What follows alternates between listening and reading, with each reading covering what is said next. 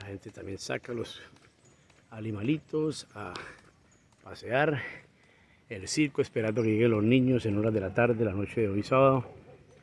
Esta es una panorámica de la montaña mágica de Siloé. Hoy sábado 13 de agosto de 2022. Todavía sigue nublado, el Cristo Rey no se ve. La comunidad Guanancí